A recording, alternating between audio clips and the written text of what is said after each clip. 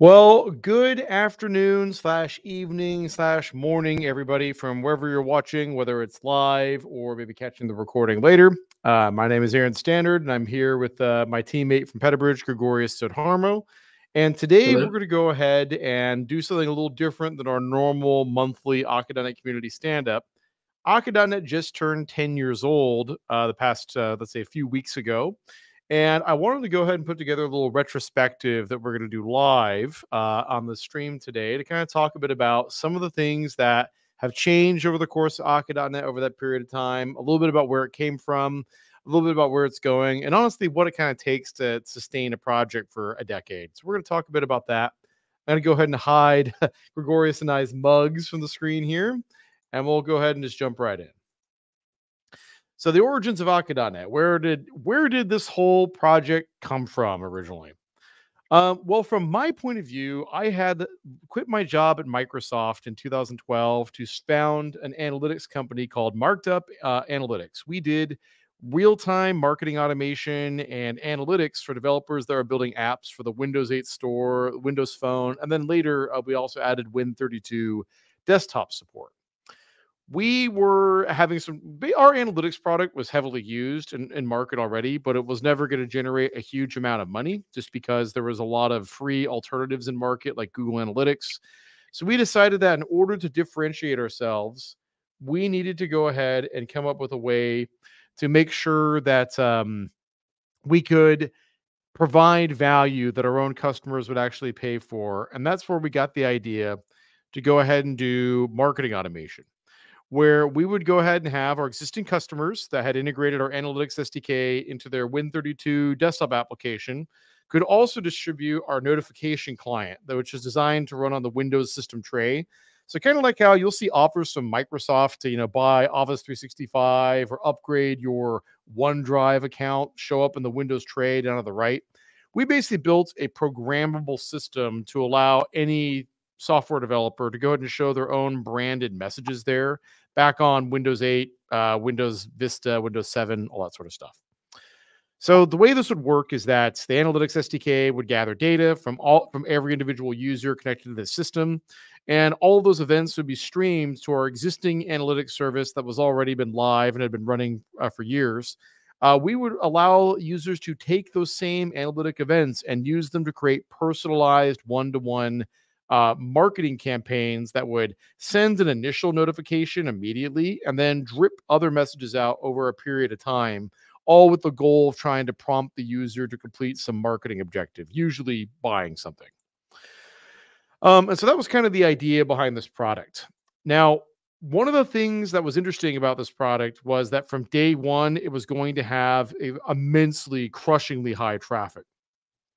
The marked up analytics SDK was already installed into at least 30 million active devices per month.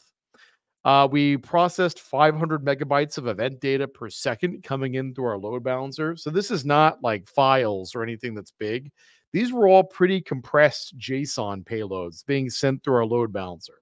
So at like peak volume, we would do as high as 10,000 events per second uh, during uh, during like the sort of peak window during the uh, evenings in the United States, typically. And this resulted in about 100 million, and I say database transactions per day, I mean writes to the database per day.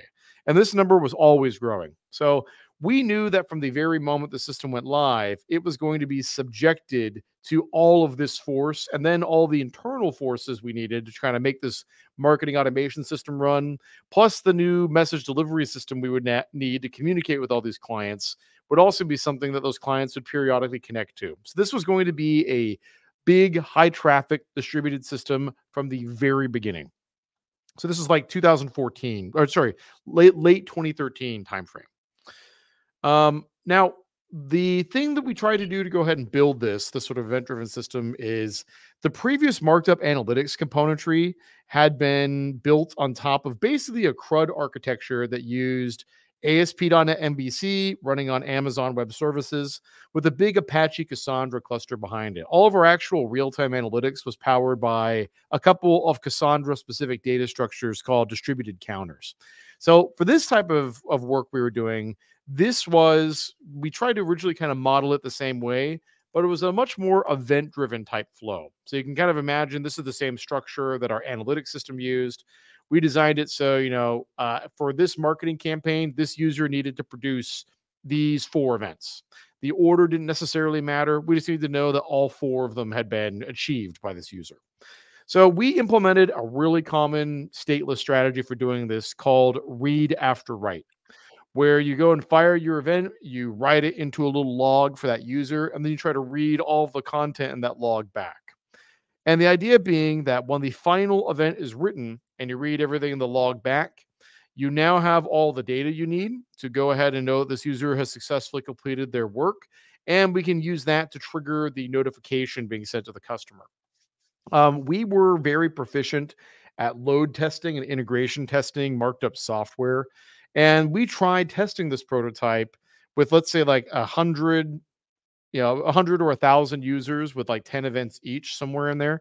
And we noticed that this triggered fewer than like one, basically less than 1% of all users got the campaign under this design. And it's for a really simple reason, which is that even though I can make Cassandra, I can it has tunable consistency, so I can make it work this kind of similarly to um, with a similar level of consistency to something like a SQL Server with replication. Um, even with that turned on, that didn't solve the problem because you can't use the database to control application level concurrency up here. It can only manage its own internal data storage and consistency concurrency, not the ability for each of these application servers to know when their work is done. So when we would do these reads and writes, it was very common for us to go ahead and do a read where, where another event was still being written. And as a result, uh, no one ever completed the state machine. So we realized that this was fundamentally a stateful programming problem. Um, now, I had not had any real distributed systems experience before working at Marked Up. I had worked at Microsoft prior to that, but I was an evangelist. I was primarily responsible for helping advertise software products and get developers to adopt them, namely Windows Phone and Windows Azure. But when I we got into the guts of, of building Marked Up itself, uh, we got a lot of experience of how to manage traffic and scalability and so forth. But this was a totally different animal.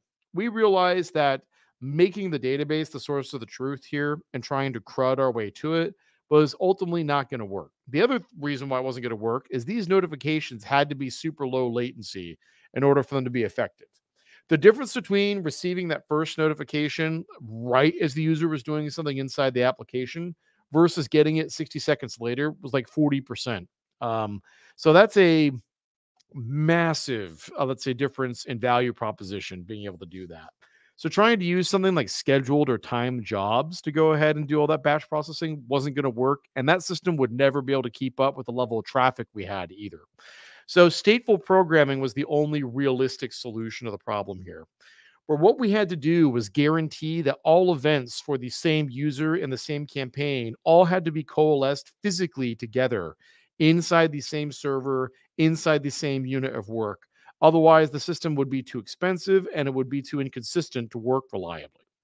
So we discovered after doing a bit of Googling, once we realized, once we needed state here, that there was actually, in fact, an entire programming model built around this called the actor model. And there was a very popular implementation of it on Scala and Java called Akka. And so I kind of learned a bit about the actor model. I had a chance to take a look at it. And I also decided, you know, basically maybe we should see if something like this exists in .NET.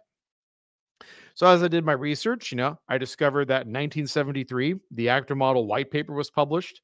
That means that the actor model is only two years younger than the relational database in terms of, let's say, how old the the genesis of the idea is. So that makes it pretty venerable in software programming terms. And then in 1986, you know, I was born in 1985. So this means when I was still in diapers, there were people using the actor model in production successfully already. Uh, this is when Erlang was, was created and was first used by Ericsson to build digital telephony exchanges.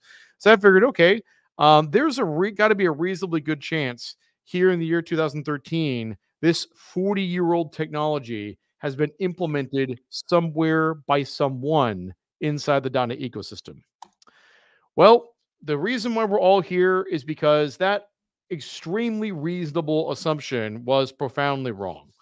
The state of the .NET ecosystem was comically bad in 2013. And in 2014, I published a blog post called The Profound Weakness of the .NET Open Source Ecosystem.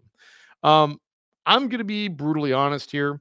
Most of the open source projects that were being implemented in .NET back then dealt with extremely trivial crap for the most part. We're talking things like, no offense, MVVM frameworks and dependency injection containers and stuff like that. Not any serious computer science, like hard engineering problems.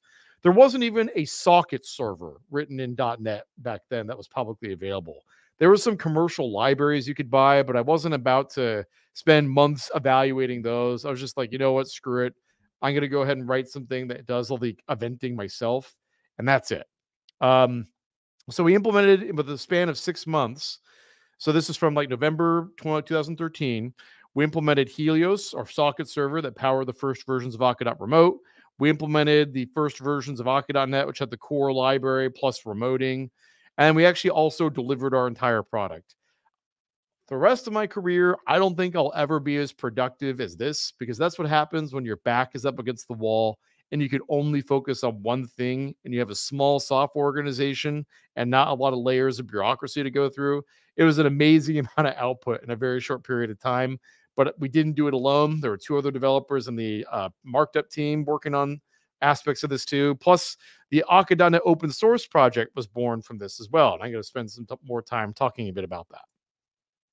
So, the framing I want to have for this talk about as, as far as like the 10 year history of Akka.net points to this diagram that you've probably seen before the cycle of change, where you begin in this sort of stage of uninformed optimism. I might even call this uninformed enthusiasm up here as well, where you think everything's great. It's a kind of a free floating, lots of ideas going around sort of stage. And then as you start digging into the details of it, you realize how hard things are. And then when you get to the valley of despair down here, you're like, you're thinking, oh my God, I'm gonna, I've got to quit. This is impossible. It's not gonna work. And if you stick with it long enough, you eventually start pulling the nose cone back up and you gain altitude again. And you get back to informed optimism and success and fulfillment. I, I got to say, parenting feels like this as well. Uh, starting a business feels like this. Uh, doing anything challenging or anything that's pretty transformational feels like this, and open source projects are no different. So, with this framing in mind, let's go ahead and talk a bit about how things happened over the past 10 years with Akka.net. So, it began in 2013. That's where our, our journey begins uninformed optimism. In on November 23rd, I think, or maybe 21st, 2013, this is the first commit I have. In fact, let me go and pull this over here the first commit I have in the Helios library, November mm. 21st, 2013. This is the point at which I had decided that trying to write our backend in Java to go ahead and use the original Akka library was probably not going to be feasible. Namely, that from a risk management point of view, our team had a ton of .NET experience and no experience writing Java apps, and we knew we were going to be nailed with super high traffic from day one and we simply just could not afford a failure on the launchpad. So we decided that porting Akka to .NET was the versus porting parts of our infrastructure to Java and running it that way was the lesser of two evils. So that's sort of the decision making that that played in there. I also wrote uh, a library called Hyperion. Was, I never publicly open sourced it. It was always in a private repo in our organization, and I don't have a copy of it anymore. But it was a TPL.dataflow based implementation of Akka.net. So I used things like the buffering mailbox, the buffering boxes, and all that stuff to try to go ahead and construct all the Akka primitives uh, using uh, the task and parallelism libraries data flow. Uh, Roger Johansson, the other sort of founder of the Akka.net project, he just this is just a, a, sort of a miraculous coincidence started working on a port of akka to net at the exact same time we were and he created the original repository that we now know as the akka.net project um, so his prototype was called Pigeon, and I don't remember how I found it, but basically around, and I documented this in a blog post on the Petabridge website called uh, Akka.net one year later. Um, around early February 2014, I think I had had a chance to do a comparative benchmark between my TPL implementation and his and the performance on his implementation d- demolished mine. It was way more performant. He'd also gotten a lot further with implementing some other Akka constructs. Like I think dealing with restarts was something he had he had figured out yet that I hadn't even attempted to work on. So I thought, you know, I sent him an email saying that you know we should join forces and I'll come contribute to your implementation because I think your implementation has better fundamentals than mine does. And so we we joined forces then. And by early March of 2014, Roger got permission from they were called TypeSafe at the time. They're Lightbend now. These are the original creators of Akka. He got permission from them to call our project the Akka.NET project. So we kind of rebranded the repository from Pigeon, uh, and we changed, you know, the the names of the NuGet packages and the namespaces and all that stuff. And then the first live NuGet package published under the Akka.NET name came out maybe uh, a week or two later. Uh, so March 19th, this is the first version we ever published in NuGet. And one really important detail about this release is we had the first cut of an F sharp API in here as well the F sharp community, I think, played the most important early role in the success of Akka.NET because the actor model and some of these other like concurrent stateful programming paradigms, there were really only two groups of people who appreciated that in the .NET ecosystem. One was kind of like the reactive extensions community, which was small and niche. The F sharp com- community was also small and niche, but the difference is they had a really effective platform for reaching people and teaching these concepts. They kind of had a better evangelistic structure than the reactive extensions people did. So a lot of early contributors who helped write some of the features for Akka.NET and even rewrote our build system. Uh, I originally wrote it in Ruby, and someone came along and rewrote it in Fake, and we've been using that ever since. They all kind of got on board around this time. I think Don Syme even promoted us back then. He's the creator of F Sharp.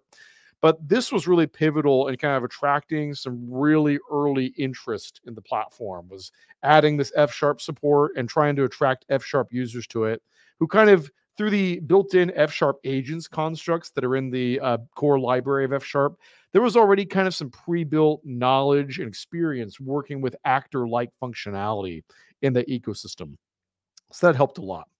And then by uh, sort of early April of 2014, we got the the first release that had Akka.remote and stashing and pipe in it. This is the release of Akka.NET that marked up needed in order to deliver its software. Um, so we were able to launch the first version of our marked up automation system, probably maybe a month or so after this came out. We had been using the nightlies and the little betas we were working on uh, to kind of work on our product while this was still being fine tuned. But we were able to release to market, I think, by late May or early June of 2016.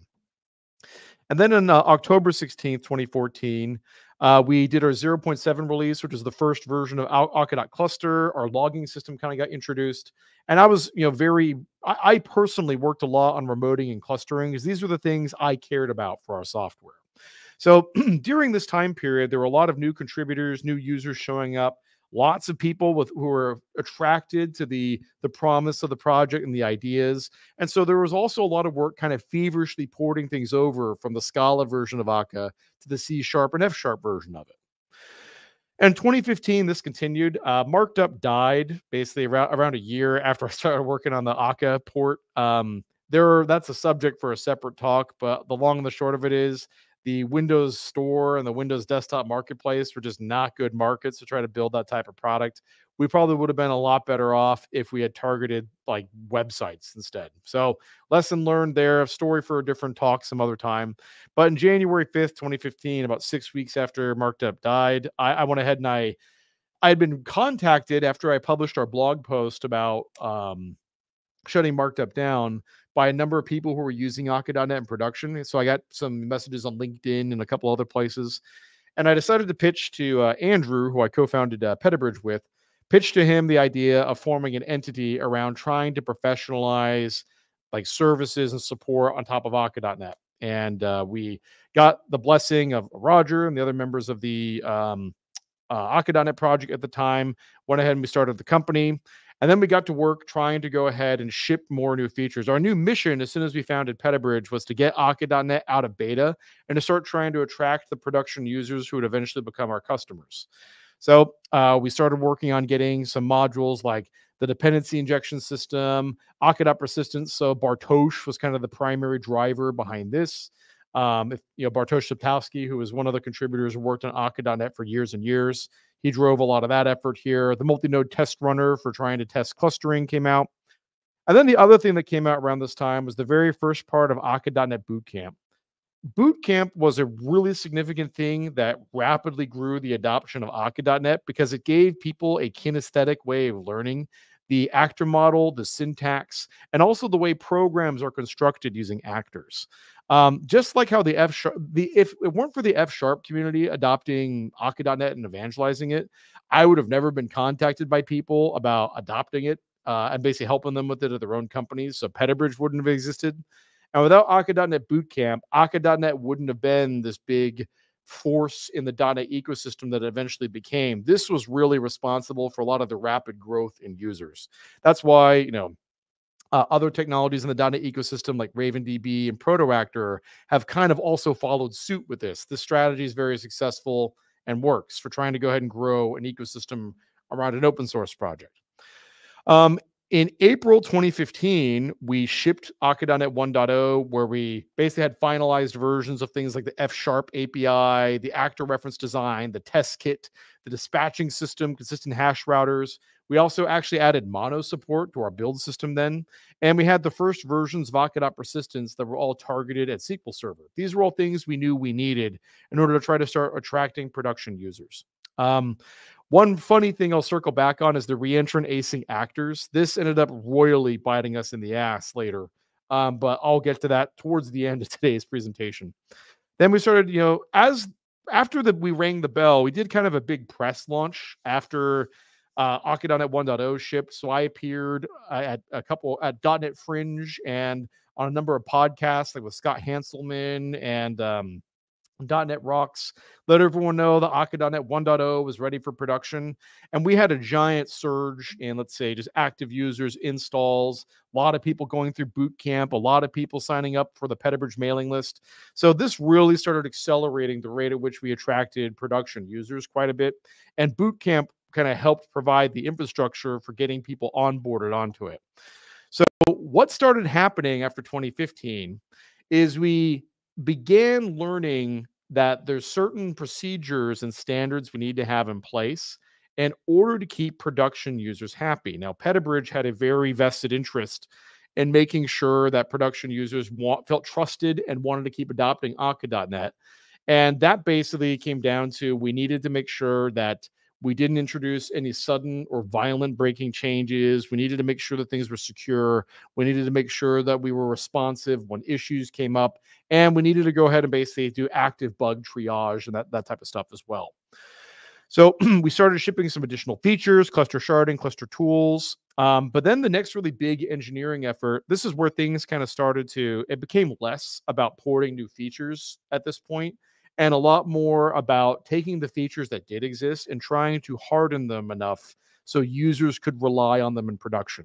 That's one of the things that changes on this adoption curve is the creative, you know, ideation and spinning up new modules. And in the case of Akka.NET, porting new code, there became less of that work and more of the kind of disciplined, narrow focus work on fixing bugs, uh, adding being able to reproduce things reliably trying to measure performance all this sort of stuff is kind of what became the focus. So i exhausted myself. I remember working on this uh, stable release of clustering. That was kind of the thing i, I focused on. We also replaced Akka.Remote's transport the first time because the first version of helios had all sorts of in my opinion embarrassing design problems in hindsight but i didn't know any better when i wrote it the first time we had a number of contributors, like actually Gregorius, who's here on the call, and uh, Marc Piechura and Chris Constantin, who ported Akka streams. That's a that was a monumental piece of work that they all did. And then uh, I also uh, rewrote the entire mailbox and system messaging protocol, which is a pretty heavy lift that I'll get into some more detail later. Um, so we're kind of at the stage now where things are starting to get a little bit more locked down on the project. We're starting to require a lot more testing. We're starting to require things be documented more thoroughly than they were before. And we're also starting to we're starting to develop the the muscle around performance testing here. By 2017, you know, we did this 1.2 release where basically we swapped out Helios with DotNetty at this point. DotNetty was uh, is still the the library we use for Akka.Remote today. That was a professional port that Microsoft's uh, IoT group ran for for Azure. uh, to bring the Netty library, which is like the stand, gold standard socket server library for Java, to bring that over to .NET. That project has since been abandoned, so we're going to have to replace our transportation system again. I'll touch on that a little later. And we got Akka Streams out of beta as well. So we kind of froze the APIs here, took care of that. Um, as production use of Akka.NET started increasing, I started doing a lot more things with Petabridge, like architecture reviews, where I'd actually go and take a look at production user code. I saw that numerous customers had begun writing their own command lines for trying to manage Akka.cluster specifically. And I decided that, you know, if I've seen if I'm seeing three users all writing tools for trying to manage Akka on its infrastructure, that probably means this is a problem we should be solving. So we released the first version of Petabridge.command, which is designed to do that, uh, right around uh, 2017. Uh, we never open sourced Petabridge.command because we had plans to uh, maybe add commercial add-ons for things like doing a single sign-on with Active Directory. We never got around to doing that. So I it's always been a free library, but I kind of wonder if it makes sense for us at some point in the future to open source this. Don't have any plans to do that at the time, but that's that was kind of the original intent.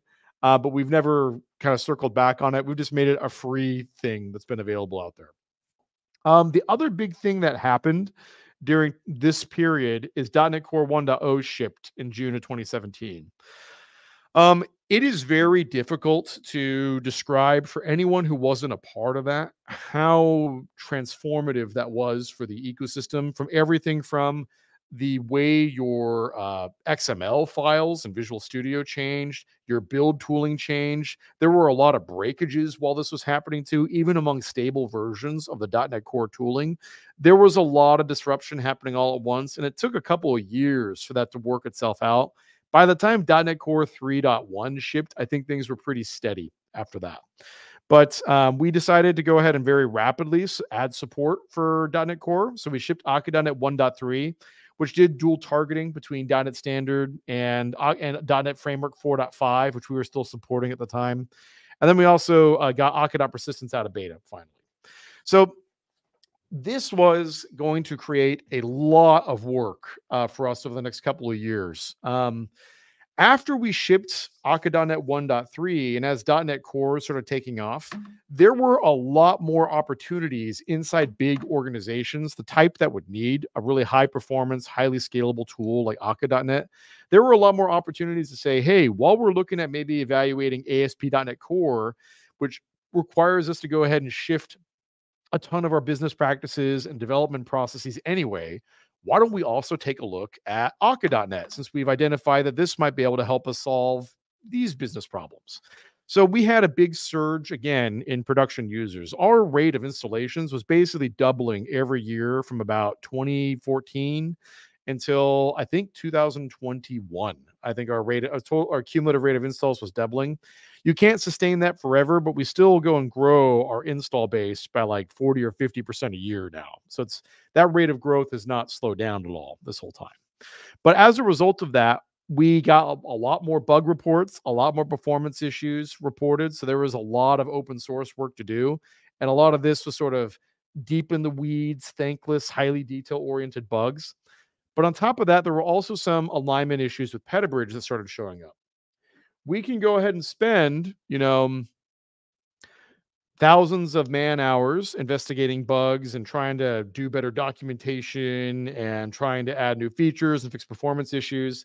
But none of that would necessarily translate to improving our bottom line. I was having to do a lot of consulting and training and other types of things while this was all going on. And that alignment issue meant that, uh, and this is by the this alignment issue between Petabridge and Akka.net is still like the number one business challenge uh, for our organization. So we decided to go ahead and introduce Phobos, our first paid library. This is basically uh, observability tools for Akka.net. We decided to make this available commercially in order to try to resolve some of these alignment issues. We also started really pushing support plans more around here as well. Um, Phobos absolutely cratered uh, like performed way worse than I could have even predicted as a commercial product. Um, and there were a couple of reasons for that. Probably our pricing was the biggest one. But the other reason, and this is still kind of a persistent issue with Phobos even today, Phobos is a commercially successful product now, but part of the issue is, you know, we have companies that run software that's probably worth, from let's say a value point of view, maybe single digit billions to tens of billions of dollars in a lot of really, really large publicly traded companies. And the observability tools these companies use for managing that software looks like things you'd find in a 1998 web farm uh, using PowerGREP to go ahead and inspect IIS log files. Or you're doing other types of sort of, let's say, log aggregation to figure out how well the service worked. Uh, and you uh, relying on a combination of that and tools like Pingdom, and that's it. They're not really using things like performance counter, or not performance counters, but let's say counters or gauges and other tools to measure the performance of the system. So there is still a fair amount of that, even with open telemetry being widely available, where companies don't really observe their software the way you'd think they should. And in my opinion, it's actually bordering on irresponsible not to do that. But that was something that we had to learn the hard way through trying to do sales and being told no. Um, so then in March 11th of 2020, uh, we finally shipped Akka.NET 1.4. This was basically cleaning up all the technical debt from supporting older versions of .NET Standard and .NET Core. .NET Standard was, as anyone from the .NET platform team will tell you, kind of a giant cluster. It was a a, a heap of competing, let's say, APIs and concerns from old versions of the .NET framework and new versions of .NET Core, and that's eventually why they stopped producing it after .NET Core 3.0 or 3.1. I think that's when .NET Standard 2.1 shipped, and it's been done ever since then. Um, this was a, a, big technical debt cleanup, and we spent most of the late part of 2019 and the early part of 2020 kind of cleaning stuff up and getting this supported.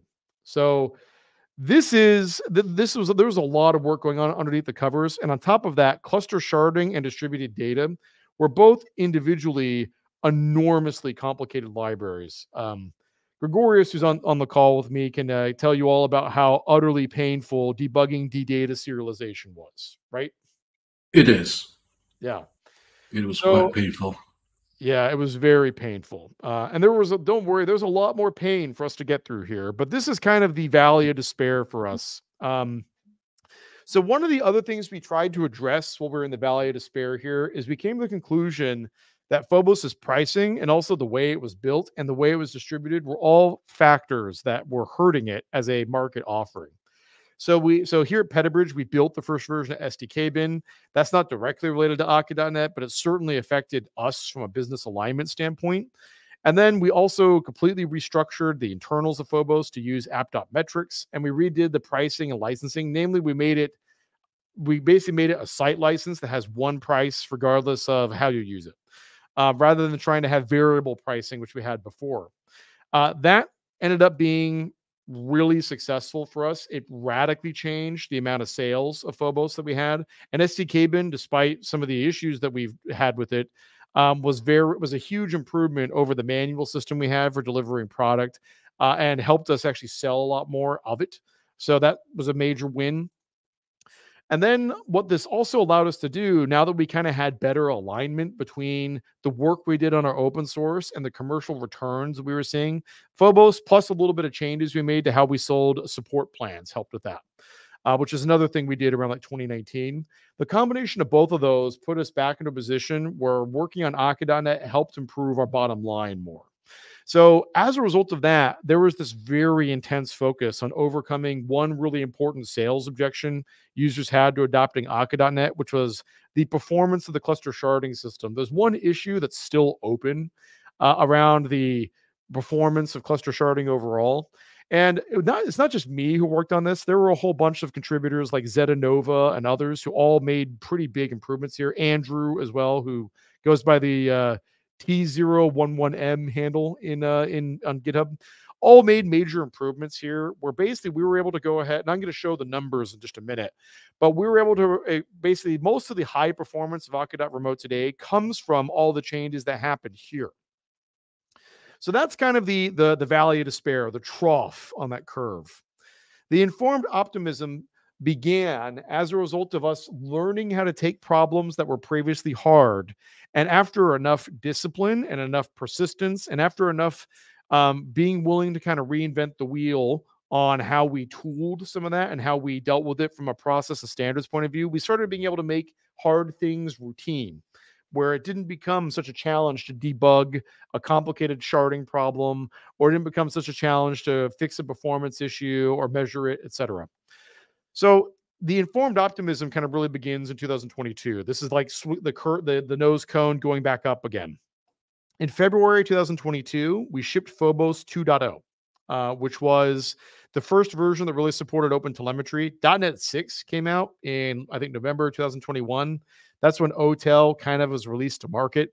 So we very we had to rewrite all the internals of Phobos to support this, and that was a project that uh, took I think about three months, but we got that done in fairly short order. And then as part of that, one of the complaints we had gotten from users about Phobos was how hard it was to configure.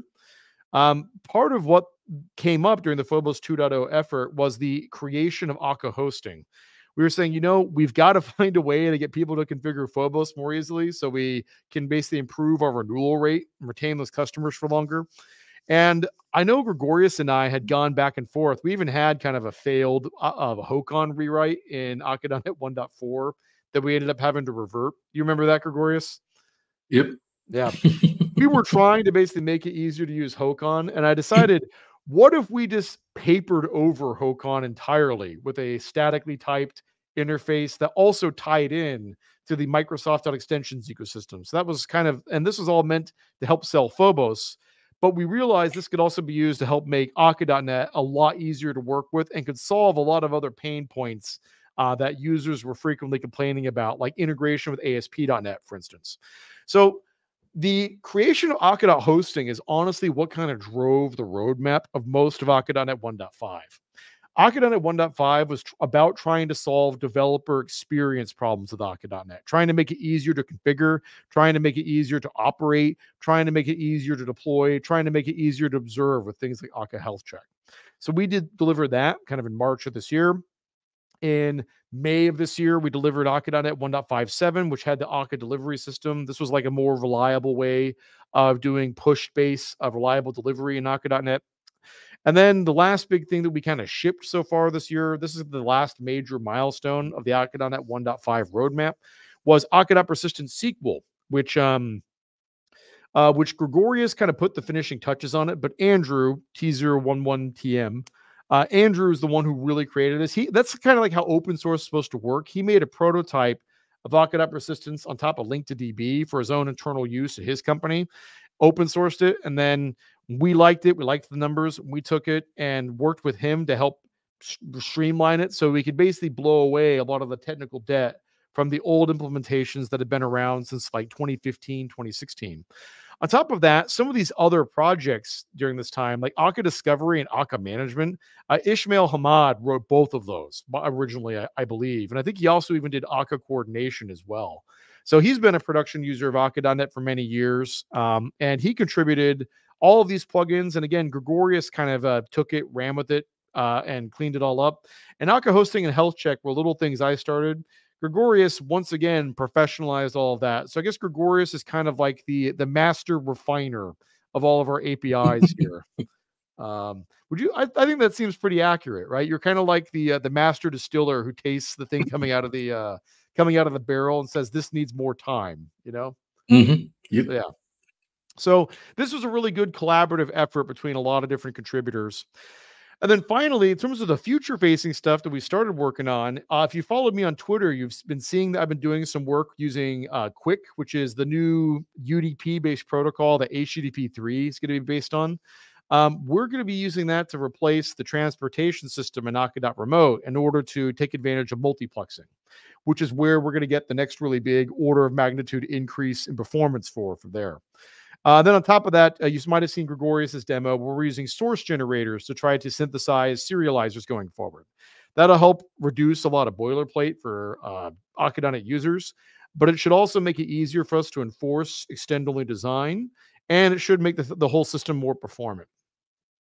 So I want to go back to this graph because this is the most important lesson uh, from this whole experience so far when you begin an open source project, you're going to start here. Everything is new and exciting. There's no production users, and the word backwards compatibility is not uttered in a serious context at all in here.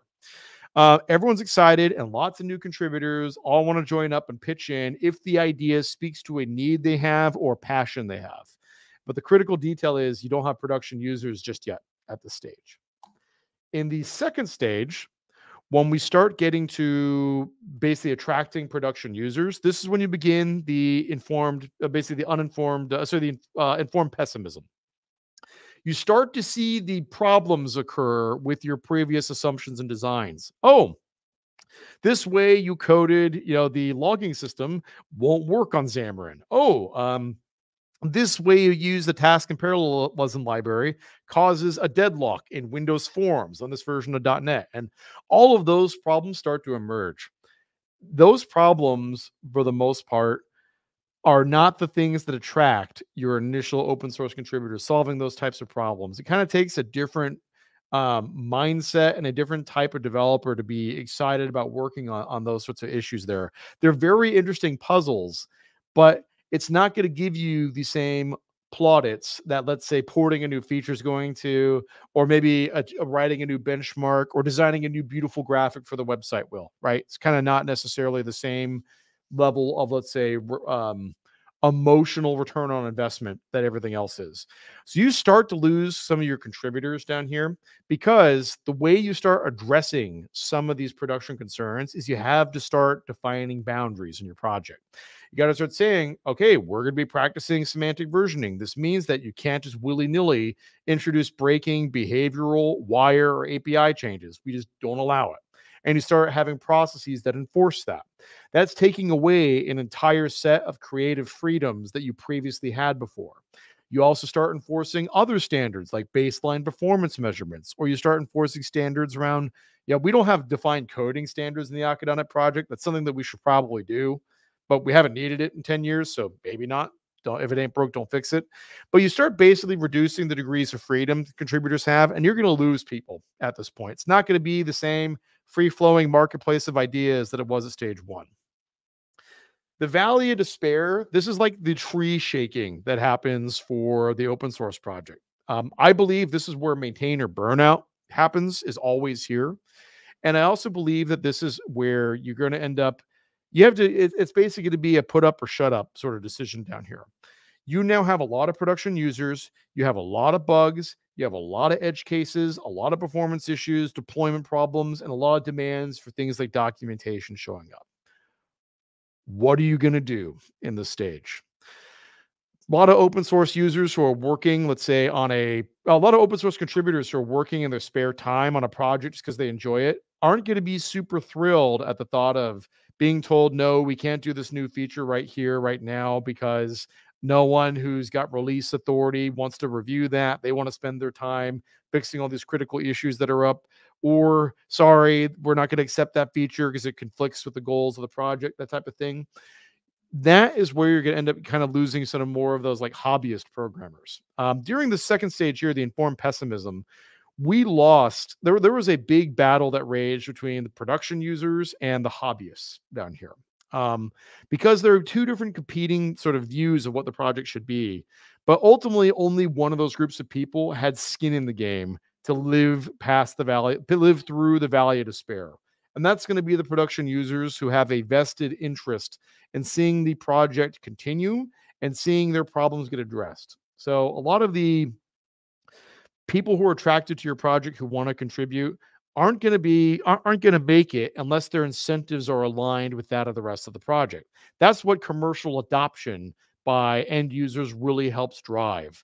That's why we had contributors like ishmael and zetanova and Zbynek who rewrote our sharding system for Akka.NET 1.5 all of them use these systems in production and are very invested in making sure that things work properly and efficiently and correctly and they'll still, you know, you, you basically still have contributors at this stage, but what motivates them is going to be different in the informed optimism versus the informed pessimism. So when you start getting to informed optimism, what happens is that things that used to be hard start getting easier. Um, part of this is experience. The amount of experience I had working on the first version of Akka.net versus working on it now, I'm a totally different software developer from that person. Even though you know, I, I, it's still me and I still have the same goals and desires that I did before. But on top of that, your automation gets better. So, for instance, we ended up building tools like Incrementalist and NBench and others to kind of help make it easier to manage really big builds of Akka.NET and to performance test things and so forth. But then the other interesting thing that happens after you push through that valley of despair is that the knowledge about how Akka.NET or any other tool like it is supposed to work gets more distributed amongst a larger number of people. And therefore, the original maintainers of the project aren't as big of a bottleneck anymore for a lot of things. Sure, you might still need them to approve releases and, to, and basically to do a little bit of like project management uh, around stuff. But there's a lot of developers who understand how the remoting system works now, how the persistence system works. They understand how serialization works in Akka.net. And you'll see in like the contributors room in Discord a lot of conversations about those things happening. That was not so much the case when those constructs were originally being built back in like 2015, 16. Um, there was a much smaller population of people who knew about it. On top of that, a lot of Petabridge's paid courses for things like design patterns, remoting, and clustering were the only game in town to kind of learn how to use a lot of those tools originally. And that was by design. We decided we needed some way to fund the company in 2015, and those webinars was going to be it. Well, we discontinued those webinars this year because our sales numbers around selling seats have been going trending down steadily over time. And that's because there's a lot more third party knowledge out there in the form of let's say blog posts Pluralsight courses or even just developers you know talking to each other at work on how all that tooling works now so those hard problems those difficult challenges get easier and then finally you get to the this is Akka.NET is still in the informed optimism stage the success and fulfillment stage is basically where competency not just knowledge but the ability to execute on that knowledge uh, correctly, consistently over a long period of time and across a diverse range of issues is now embedded across many users and contributors. Um, this is where you know really big projects like ASP.NET are, are, for instance. Hard things can now become routine things. There's a big enough corpus of users that many different people all might be able to spot hard problems and help direct, let's say, the project to solutions towards them. So there's a lot of different things that kind of happen through this growth curve here. And the real trick to basically being able to live long enough to have a 10 year anniversary is what do you do when you get to the valley of despair? You can quit or you can push through it. So here's in putting this in more literal terms, here's what I think it takes to escape the valley of despair. I've written a lot on my personal blog about uh, commercial open source and the alignment between producers and consumers of open source software. That is still your bedrock for being able to make it through this. Uh, I think Avalonia UI has published a blog post about this today, which I haven't had a chance to finish reading. But you basically need to make sure that, hey, every time you get a, you know, every time you help support a user who filed a ticket and you have no idea if this user belongs to a paying customer or not usually on github but you need to make sure it's like if i help this user solve this problem i should eventually be able to see some monetary return from that some way somehow whether it's just something as simple as making sure bugs that might scare users off get fixed or maybe this give the, gives the user the confidence to go ahead and ask for a support plan from their company you want to make sure that there's that alignment of incentives between both groups. And that's going to create a positive feedback loop that will sustain the project over a long period of time. Uh, this requires a lot of intentionality on the business side of things. And this is still like my number one business problem that most of my energy goes into is always trying to make sure that we are uh, keeping these incentives aligned and trying to find better and more efficient ways of doing it. Next is always be improving. So there's a number of different ways you can go about doing this, but the idea is that you need to invest not just in your code that you're shipping, but the way you produce that code is something you need to invest in. So that means better automation and better tooling, uh, having better standards and processes. So, for instance, one of the things I did to escape the trough here is in late 2021, we documented all of our standards around how we do wire API and uh, I think behavior versioning how we basically maintain compatibility backwards because that's kind of like the number one tax you have to pay to, to support production users is you have to be able to guarantee this new version of the software will not blow up your current application and here's how we know we've done that and here's this, the process we followed to help ensure that Or if we do know that there's going to be breaking changes, here is how you can opt into those or opt out of them, depending on how you want to deliver that. And here's the upgrade steps to help make this less risky. And by the way, here's a video of us doing it. We had to do that for like cluster sharding and the logging system and Akka.NET Persistent SQL this year for Akka.NET 1.5. And that's where planning before you code is a really important feature. This is, I find, um, honestly, it's the simplest but most important thing you can do when your software gets complex enough in terms of the way it's consumed, the versions that are out there, and the array of different environments it can be in. Trying to just sling code from the seat of your chair for doing, let's say, fairly big, you know, feature or performance work, that is going to get you in trouble every time. And the reason is that the number of variables and the number of things you don't know you don't know are so big that you need to have some sort of process to help discover them that's cheap before you get into it and planning before you code will do that. Um, planning before you code and socializing it with other people uh, in the user community. Creative destruction. Um, i'm kind of stealing this from the koch brothers book the science of success they say that creative destruction is like the most important thing for sustaining, you know, the longevity of a business. Um, that also applies to technology and things like open source projects. We'll touch on that more in a moment. Make training, docs, and samples a priority. An open source project is bigger than the sum of its features. It's also got to be about the things that help users discover which features to use, how to use them properly, and when not to use them. Um, so these are things that we know, you know, are, are constantly a thing we can improve on. So we'll, I'll talk a bit about that a little bit later as well. Uh, like I said, wisdom of the crowds actually does work here. Uh, one of the most successful things we started doing, I guess, uh, late 2021, early 2022, was bringing the Akka.NET community stand up back, which you're all watching right now, but also including that show and tell presentation, hearing about production users and what does and doesn't work well. Uh, we just had two really good ones over the past couple of months one from uh, NRK and the other one from Christopher and you get a chance to learn what were some of the problems they ran into using Akka.net and how do they solve them. Um, that type of information is really valuable for end users. And so another thing we should probably do a little bit more of is trying to uh, help get some um, help do draw attention to third-party blog posts and tutorials written by someone other than me or Petabridge. Uh, that'd be another thing we could probably do to even accelerate this even more. And finally, talk to your users often.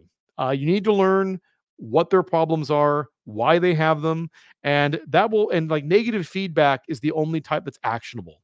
If people tell you everything's great, I love you, there's not really a lot for you to do with that. Even though it does feel very validating to hear and if you do love us, definitely tell us. We we we could use all the warm fuzzies we can get. But when users talk about what's not working well, that is where we find problems that need fixing. So let's talk a little bit about always be improving real quick. So this idea is like you need to be sharpening the saw, continually reinvesting in your tooling, your standards, and your approaches for how you deliver the project. This is the only way you can keep up with all of the competing demands from all the different constituents of users you support in your open source project. So performance is one area where it's really easy to kind of show the benefit over time. Um, I gave a talk about NBench a number of years ago at .NET Fringe, where I talked about how there was an Akka.Remote performance regression that came up in a very early version, um, and everyone was trying to create their own benchmarks to measure that particular problem. And as a result, it was like dogs chasing their own tails over and over again. No one had any idea what anyone else meant by their benchmark. So the first thing we had to do was standardize design a benchmark, leave it alone after it goes in there, and don't change it. Try to make that benchmark a thing that is held constant over many versions of the software. That'll make it more effective in establishing how much better or worse is this version of the software than this one. Uh, next, we started running and capturing results repeatedly. We actually basically used NBench to go ahead and automatically run benchmark runs every single time a PR went through. And we even had assertions in there where if this performance value dropped below this expected result, we would actually fail the PR when that happened. Now that started causing some other problems, namely that that resulted in a fair amount of non-determinism. Whoops. Um, but uh, that was still a good approach for trying to establish a defensive means of preserving performance. And then finally, we also did things like updated our pull request templates to require before and after numbers uh, on on pull requests that affected performance sensitive features. And you know, the next thing we've been working on, which Gregorius, you've spent like six weeks now working on a prototype for this, doing Mhm. automatic nightly benchmark collection with the ability to store performance measures in a database over time. So we can have like a scatter distribution of we know that remote ping pong, our primary benchmark for measuring remoting performance, we know that it had these numbers, you know, two you know two nights ago, and now that has these numbers, and that's more than one standard deviation than than what we would normally expect which means either someone did something great or something terrible, depending on what we're measuring, right? So, yeah, always be improving. And you can see the results as a result of this. So, I ran all these versions of Akka.NET on .NET 8. So that means I've kind of normalized away things like how much faster .NET is from you know .NET Core 3.1 or whatever. Um, so I went ahead and you know benchmarked Akka.NET 1.30 which is running at which is running at about 64,000 messages a second. And then I bumped it up to Akka.NET 1.318. This is the last uh, version of Akka.NET 1.3 we shipped. We're actually doing 53,000 messages a second. One of the things that we noticed back in the day when we were working on this was non determinism in these benchmarks. There could be very big swings in the standard deviation on here. Uh, and that's exactly what we're observing there. So now we take a look at Akka.NET 1.415, which came out about a year after 1.318, and it's doing, you know, 5x as many messages as we were before. Um, I couldn't run 1.40 or any of the other earlier versions of Remote Ping Pong because the benchmark actually hung. Um, and I realized that I think we fixed the bug that was causing that in 1.415. So this is the earliest back I could go. Um, but one of the things we added to kind of improve performance here was we introduced IO batching, which meant that uh, we didn't call flush every single time we wanted to write a message over the network. This meant the number of system calls went down pretty dramatically. And this gave us a not only a much faster benchmark measure, but it also made the numbers much more consistent. Where rather than having all this variance coming from operating system sort of scheduling overhead, now the variance was tied to how quickly we could push bits through the socket which meant that um, we went from having a partly compute bound problem to now having a purely IO bound problem, which is good. In Akka.NET 1.431, the performance shot up even more. This is where all those numbers showed up uh, in our graph when we are in the peak of despair. Uh, the bulk of Akka.NET's performance improvements came from this period right here. So the final version of Akka.NET 1.4, this, this I think we shipped this in 2023.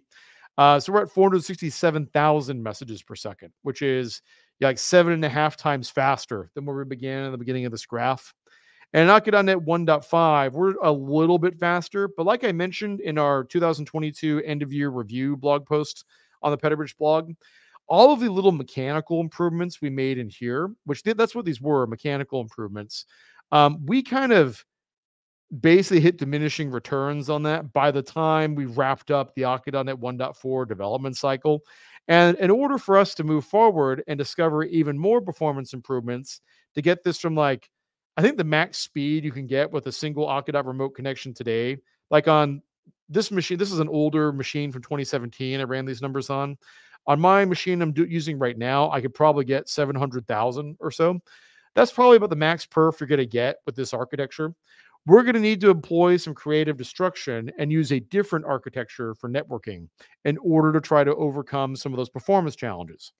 Now, I wanted to illustrate creative destruction with the .NET ecosystem itself first, because this is something we had to react to in the Akka.NET project. Back in you know, when we first started Akka.NET, the state of the art was .NET Framework 4.5. That's I think the version where async and await were first introduced. If you wanted to do cross-platform development, that was going to be done on Mono. Uh, Mono is not nearly as polished as .NET Core is. I still remember one of my.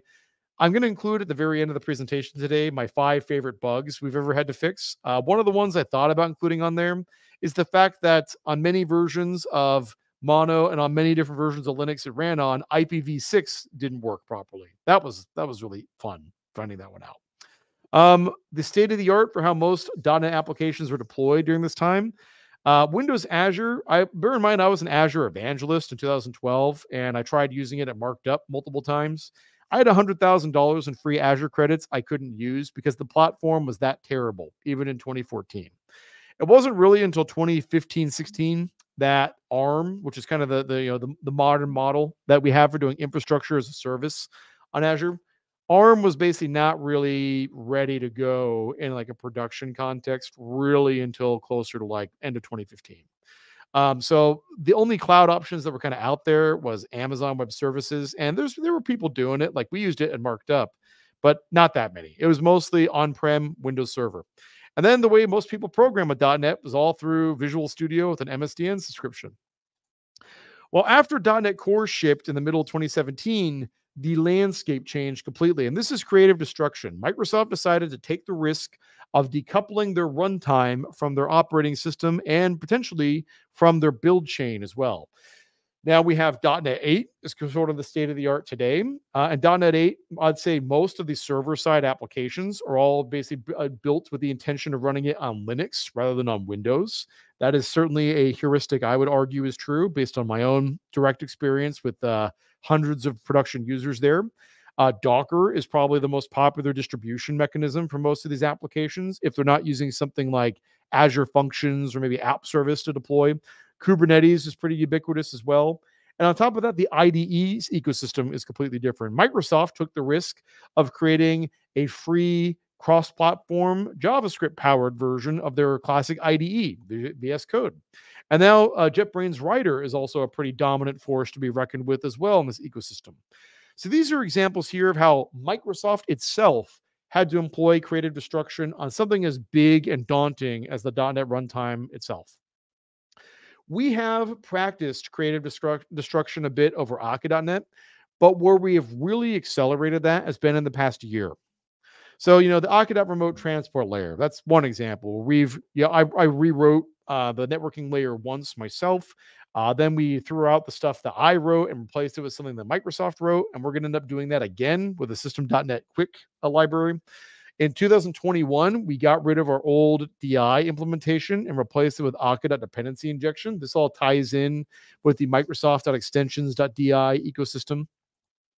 Uh, we didn't get rid of HOCON, but we certainly have de-emphasized it and have instead put Akka hosting on top of it. So, you know, this is going to be a major change that gets reflected in our training literature going forward, where we're probably not going to teach HOCON for the vast majority of the course. HOCON will be a thing where if you've got to configure something special, then you can learn how to do it. Otherwise, if it's one of the, part of the 20% of Akka.NET that 80% of people need to configure, there's going to be a C sharp or an F sharp API for doing that. Akka.persistence.sql.common. Uh, I can't begin to tell you the number of frustrating errors I've had to debug working on these SQL plugins over the years. We decided that the technical debt from some of those old designs was so severe that it was worth blowing it away and replacing it with a, with a new implementation here. Uh, Gregorius, one of the other projects he undertook as part of Akka.NET 1.5, was rewriting the entire test kit to be asynchronous under the covers. So before we had some async methods that call that were like async over sync. Now we flipped it the other way around. The test kit is natively asynchronous, and all the old synchronous methods are still supported, but they're doing sync over async now. We've also redone the entire documentation website twice. Um, once when Akka.NET 1.4 shipped, once again, maybe I think two, a couple years ago, and we're planning on doing it a third time as well. And we have some more creative destruction planned. So, for instance, in Akka.NET 1.6, we're going to rewrite basically Akka.NET Remote's getting completely rewritten. That's the biggest thing that's going to happen there. We're also probably going to rewrite the entire serialization system. Now, bear in mind, I'm going to put a big asterisk next to this.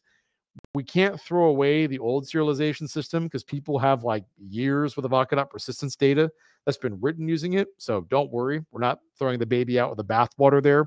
We're just going to introduce a new one that basically can work alongside the old one. That's how that's going to get delivered. So no panic about that.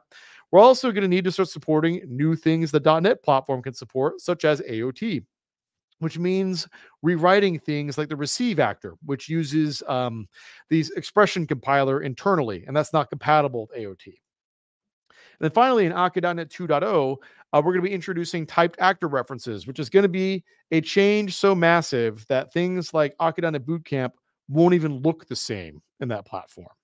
So the purpose of creative destruction here is this is that at a certain point things that worked previously stop working as a result of hitting some natural limit or some new competition in the ecosystem or whatever. And you've got to be willing to take some risks on that. But those risks have to be done in a smart fashion that makes it so the end users are going to, to get along and get in the car for the ride with you. If you're just going to do it shooting from the hip without really socializing those changes, without thinking through how does the user actually introduce this into a production system, and without being willing to go ahead and let's say be told that your baby is ugly, which will happen to some extent, you're going to have a bad time. But creative destruction is still ultimately necessary to basically make the project a success. Making training and samples a priority. On Monday, I just ran for some of our Akka.NET support customers, Akka.NET end to end. This is my first brand new course I've designed since 2015.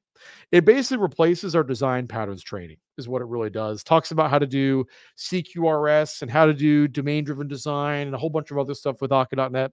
We might make that more widely available, but we've been, we piloted it on um, Monday this week with just some support customers. By the way, if you want to make a pitch to your company for buying support, that's one of the things you should do because we're going to start doing more private trainings and webinars specifically aimed at people who have support plans going forward.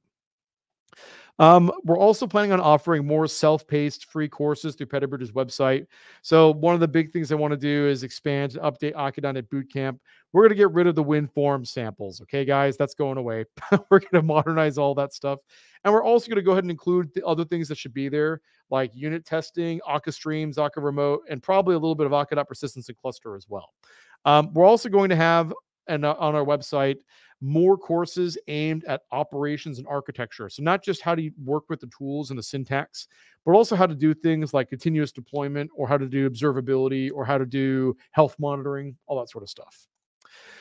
Um, we're also going to be rewriting the main Akka.NET docs. I talked about this, I think, in our May or June community stand up. But basically, we've got a lot of Swinglish from like the original Akka documentation, like Scala Akka, that we copied back in 2015 that's never been updated. Uh, we're going to rewrite that to make it less academic, more approachable. Uh, we're also going to go ahead and make all the samples runnable. Uh, that's what one of the things I'd like to do. I've been playing with tools like Replit and .NET Interactive to try to see if we can do that. Um, I don't know how feasible this is, but we're certainly going to try. And this is all basically designed to help make it so we can keep growing the ecosystem, make it easy for people to inherit Akka.NET code bases at work. That's a new problem that shows up now that Akka.NET's a mature technology. And this is all, I think, part of the, you know, what's what's good for the goose here. Finally, talking to customers is the last important tool you need to escape the valley of despair. Um, the most successful mediums we've had for doing this are the community stand-ups with their show and tell presentations and the Akka.NET Discord. Moving from like one chat platform like Gitter to Discord might not seem like a big deal, but what it really did was kind of opened it up so people who are in the Akka.NET space can talk about not just I need help with Akka.NET, but they can also talk about, hey, have you guys ever worked with Timescale DB? Gonna throw a shout out to Houston, who's in chat here, who has brought that up before. Or hey, have you guys ever thought about using, you know, Akka persistence and stream refs to go ahead and do distributed CQRS or whatever? Uh, the Discord has been a really big hit for that. But I also use uh, in-person conferences quite a bit as a way of kind of sourcing feedback from end users. Um, being told, hey, we've been working with Akka.NET for four years, but we have always wanted this ability to manage clusters this way. We've always wanted a proper, you know, uh, Cosmos DB plugin for Akka persistence or whatever it is you're going to tell me. All those interactions are really helpful. Um, it's also really useful seeing people blog about their experiences and file Stack Overflow tickets as well. All of that all kind of feeds back into the system we use for keeping track of what people are and are not happy with. You should always be talking to users and always get feedback, especially if it's negative. The most negative feedback is ultimately going to be what helps you. And so that's kind of the the big pitch and sort of like how the project's evolved and what it's kind of taken uh, to get, kind of keep the project going over these years. I want to kind of end on a little bit of a sillier note for my own gratification here we're talk about my favorite Akka.NET bugs, the weirdest bugs that we've ever had to deal with, and how much I hated them at the time. So the first one I'm going to talk about, this is dating back to Akka.NET 1.1, uh, which is this little issue here. Uh, as you can see, I had to touch 47 files here, pretty big by our standards. Well, if I go and pull out the presentation here, the problem was was that we were a little too fast and loose during the Akka.NET 1.0 implementation with where system messages got sent. System messages have to be processed ahead of user-defined ones, and because they were being sent via ActorRef.Tell, these system messages were ending up in the completely wrong part of the mailbox, which basically meant that functionality like Death Watch and actor supervision didn't work when the system got busy. Uh, that's a bit of a problem, to say the least. So, what did we have to do to go and fix this? Well, this was my first and only time I've ever had to write a Roslyn analyzer for the explicit purpose of being able to exhaustively find every single area where this mistake happened and fix it. And so I used a Roslyn analyzer to do it. I was able to go and patch all the areas, send it through the appropriate channel, which is called send system message instead. And we shipped that fix in Akka.NET 1.1. So got to learn a lot about how to work with Roslyn in order to solve that bug. That that's what it took to track down all the inappropriate calls. Part of the reason being you couldn't easily inspect the messages being sent through ActorRef.Tell and figure out if they implemented this interface or not. That required a compiler to do some static analysis. Couple of my other favorites, uh, task and parallelism library bugs. The Akka.Remote UI cause uh, Akka.Remote uh, causes UI apps, apps to crash. If we take a look at this user's reproduction right here, uh, you can see that they have this button click event where they're using a remote actor selection and they are going to ask the actor for a message and they're going to try to show a message box once this is done. I believe this is Windows Forms is what they're using here. So what was the problem? Well, the problem was that task continuations by default run on the same context where a waiting occurred. This would mean that Akka.Remote could potentially grab the um, synchronization context that the original ask occurred on and would basically end up using the UI thread to, co- to basically complete IO operations on the back end.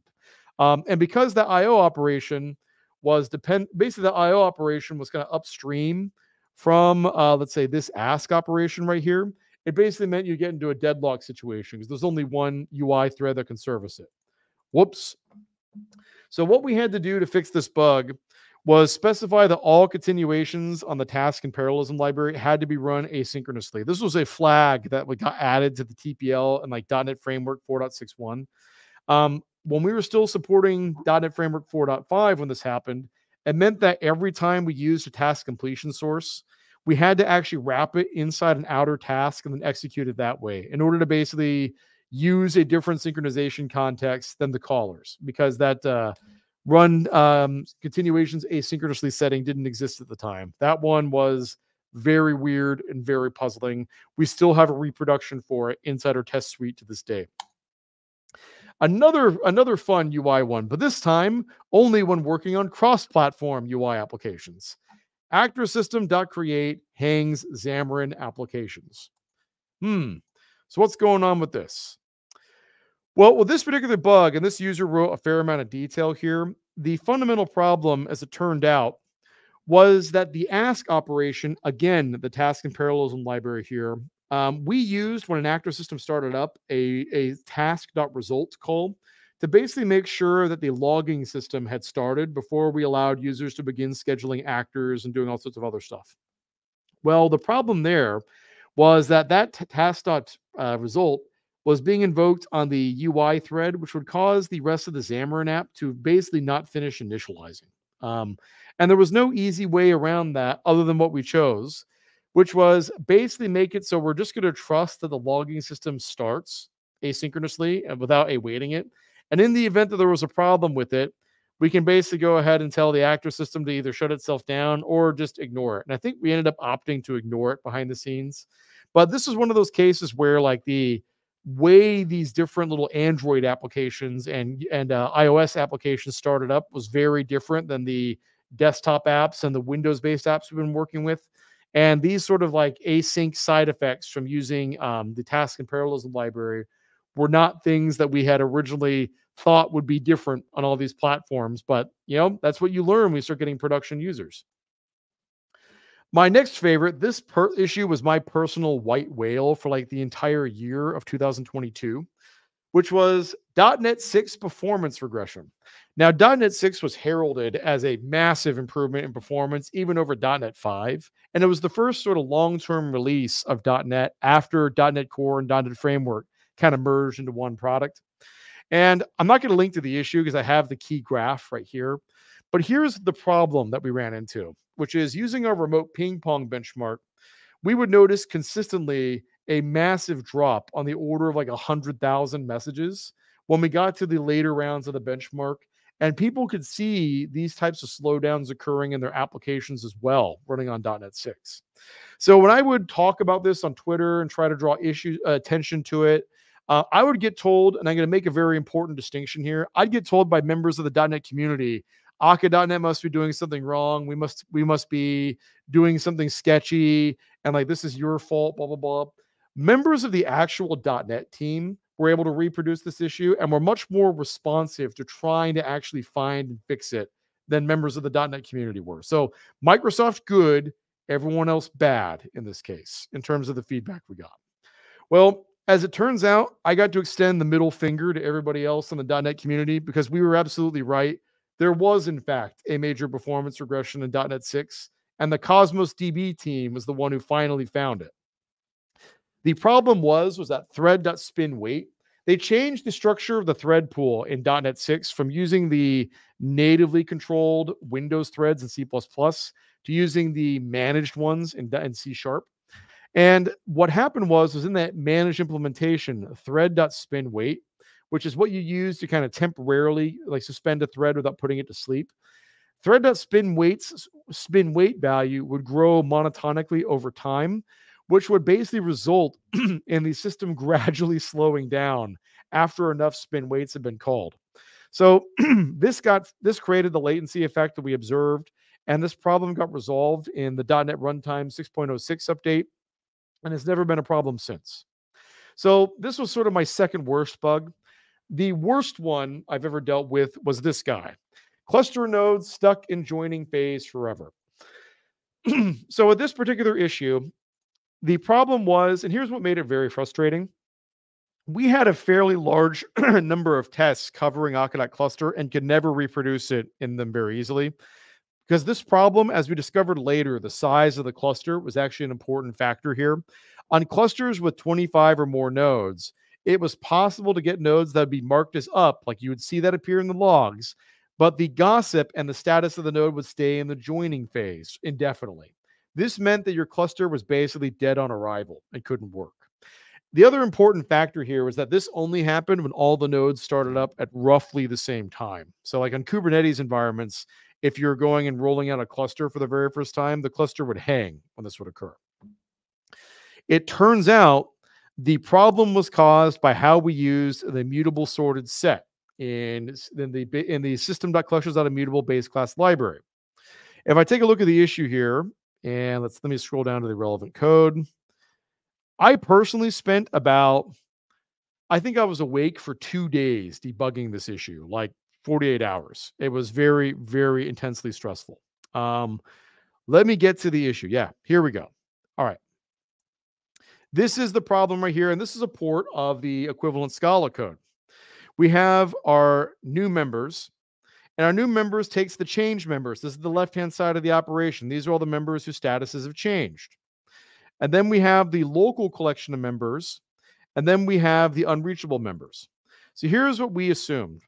We assumed that we would call union here. It would go ahead and copy the members that were in here into the members that were here.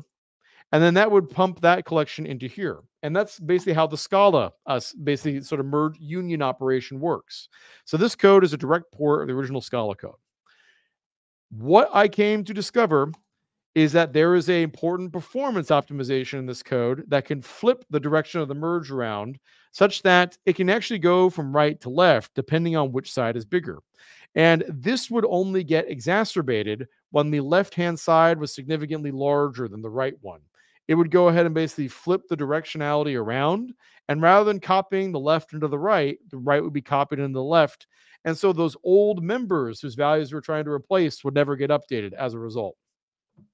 you wouldn't hit this optimization on small clusters where the directions are different.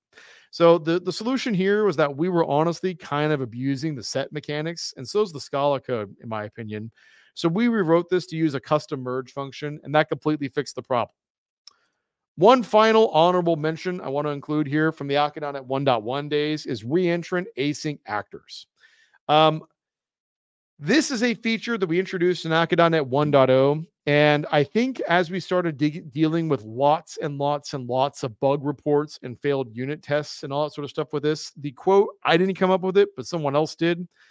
All of the intellectual overhead of actors with all the complexity of shared state concurrency. In other words, the worst of both worlds.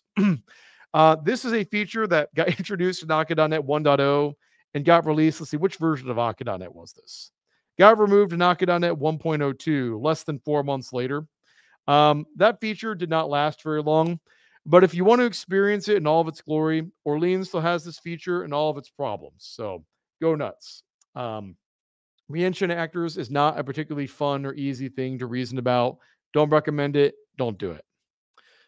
Now, the last thing I kind of wanted to close with today is a big thank you to all of our contributors, past and current, and all of our end users for all of the bug reports, the reproductions, the code contributions, the documentation improvements, the blog posts, the meetup and conference talks, the show and tell presentations, recommending us to colleagues, and also lastly for, for just trusting us with your code too.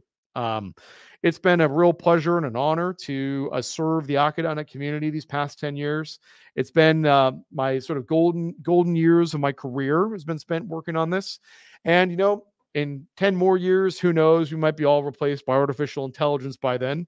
Um, but I continue to look for, I, always look forward to doing more work on the Akka.NET project itself and trying to deliver more new and better and faster things to end users. So, from the bottom of my heart, I just want to extend uh, my thanks to you and and the rest of the Akka.NET community and contributors overall. Uh, couldn't do it without you. So thank you very much. And um, I guess Gregorius, do you have any parting thoughts before we uh, wrap up for today?